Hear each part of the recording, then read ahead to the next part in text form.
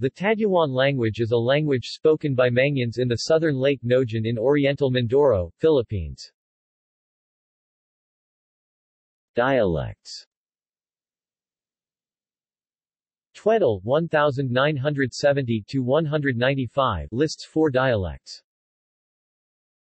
Nahan East Aglubang West Aglubang Palanawan and East Aglubang are close to each other. The West Aglubang is spoken farthest out and has strong Alangan influence. Barbian 1977 lists the following locations. Barrio Talapan, Socorro, Oriental Mindoro Happy Valley, Socorro, Oriental Mindoro Pahilan, Calatagan, Pola, Oriental Mindoro